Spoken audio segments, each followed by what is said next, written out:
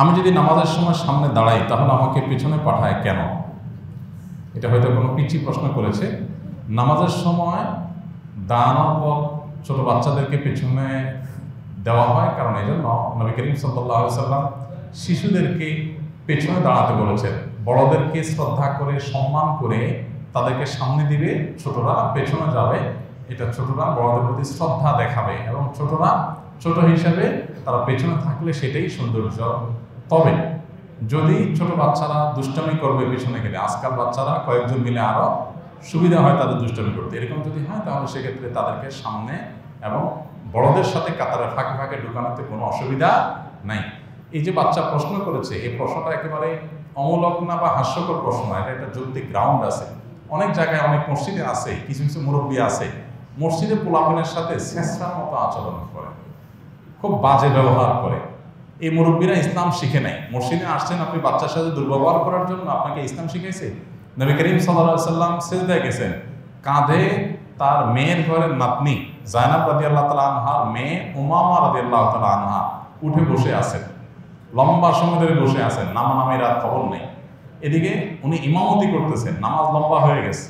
সালাম ফেরানোর পরে সাহাবিরা জিজ্ঞাসা করলেন যে, আজকে একটা সেজদায় এত সময় ছিলেন আপনি? আল্লাহকে বিশেষ কোনো নির্দেশ আসছে নাকি ওহি আসছে? নবীজি বললেন, এর কিছুই ঘটে নাই।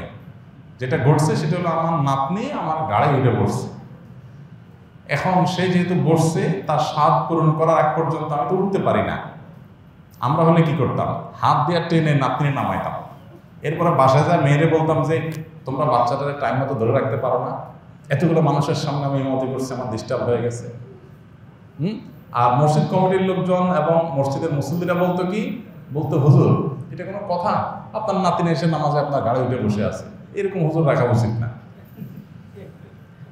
মসজিদে বাচ্চাদের ডিস্টার্বটাকে ইতিবাচকভাবে নেওয়া, এটাকে এনজয় করার মানসিকতা তৈরি করতে হবে। আবার এর মানে এই না যে দেড় বছর, দুই বছরের বাচ্চা এনে পেশাব করে থাকবে মসজিদে। ওইটা বলি নাই। যে বাচ্চা নামাজ বুঝে, পাঁচ বছর, ছয় বছর, চার বছর বাবার সাথে, দাদার সাথে আসবে, একটু উল্টাপাল্টা করবে, একটু ডিস্টার্ব করবে ওটা সহ্য করার মতো মানসিকতা থাকতে হবে। যে সমস্ত মুরব্বীরা, এই সমস্ত পোলাপানরা, এই যে পিছনে কাতারে যেতে বললেও সুন্দর করে বুঝে করবেন যে তোমরা ছোটরা পিছনে একসাথে দাঁড়ালে সুন্দর হয়। সেটা না করে আপনাদের বলছেন, এই গাঢ় ধরে ধোয়াই করবে পেছনে নেই ছেলে চিন্তা করতেছে, হায় হায়, আমি কোথায় আসলাম? সব দেখি দুরাচরণকারী, সব দেখি বেয়াদব কিসিমের মানুষ। এ বাচ্চা এখান থেকে মসজিদে আসাই বন্ধ করে দিই বাবা, যে মসজিদে আসার জায়গা না, ফালতু মানুষদের জায়গা এটা। তো এগুলো করবেন না আল্লাহর আওয়াজ থেকেও